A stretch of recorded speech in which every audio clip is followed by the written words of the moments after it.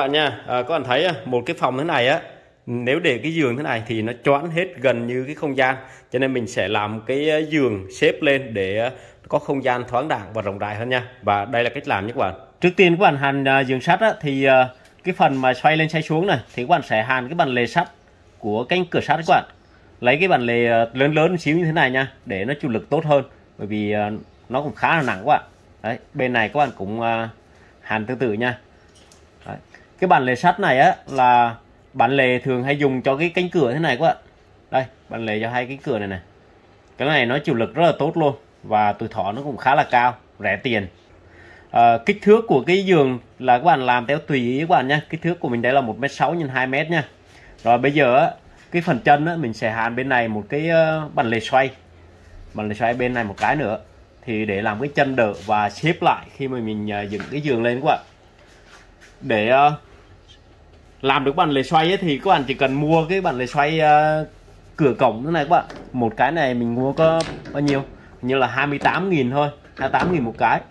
Tức là tổng hai cái này chưa tới 50.000 rất là rẻ nha và cái này nó cực kỳ chắc luôn nó rất là chịu lực rất là tốt nha các bạn. Đó và khi mua thì các bạn à, lựa chọn hai cái nào nó xoay nhẹ nhẹ như thế này. Chứ đừng kẹt kẹt thì đừng có uh, mua nha. Rồi mình sẽ hàn uh, một bên vào đây và cái mặt này này các bạn chú ý nhé hàn mặt này vào cái thành giường này nha. Cái bàn lề mình là nó rộng 60 và có kích thước là dày 3 phân thì sẽ hàn vô sắt hộp này luôn. Rồi mình sẽ hàn đây nha.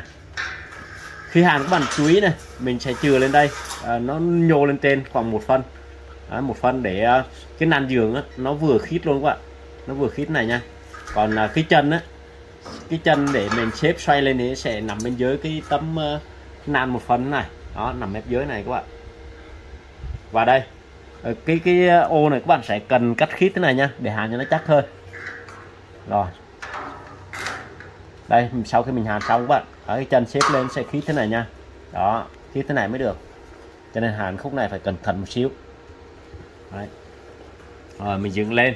Thì ờ, khi mình dựng lên thì cái phần bên dưới này, nó sẽ tựa vào cái thanh sắt này. Rất là cứng luôn, rất là chắc chắn nha. Đấy rồi bây giờ các bạn sẽ hàn một cái thanh ngang để ờ, đưa lên, đưa xuống cho nó dễ nha. Đây, cái thanh này nó sẽ giúp cho các bạn ờ, xếp cái giường lên dễ dàng hơn nha. Còn nếu không có thanh này khi mà các bạn nâng hạ xuống á, rất khó khăn nha, nó sẽ bị vướng. Và các bạn hàn chuẩn thì khi xếp lên, nó sẽ khít thế này luôn. Đây, mình sẽ đặt cái thước thủy lên này các bạn coi nha. Đây, đặt thước thủy lên. Thì nó sẽ khít bằng giữa hai mặt này. Và đây là kết quả nha các bạn. Đấy, kết quả, mình bắn cái tấm gỗ lên đây và mình cắt chừa thế này. Mặt này này hoàn thiện nó sẽ bằng bên này luôn nhá. Nó nó không không có cấn lên. Còn à, cái nệm mình đặt trên này nó không ảnh hưởng gì nhá. Đây mình dựng lên trên nhá. Đây và khi dựng cái giường lên thì nó như thế này nhá. Đó cái cái chân này nó sẽ xếp sát vào cái tấm gỗ này.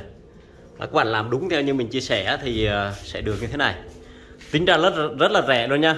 À, tổng hai cái này á nó có Ờ, chưa tới 50 nghìn và cộng hai này nữa là khoảng ờ, tầm ờ, hết 7 80 ngàn thôi là mình làm được cái giường xếp này. Còn nếu như các bạn mua cái bàn lề riêng nó không tới 1 triệu 7 tính ra nó rẻ gấp 10 mười mấy 20 lần.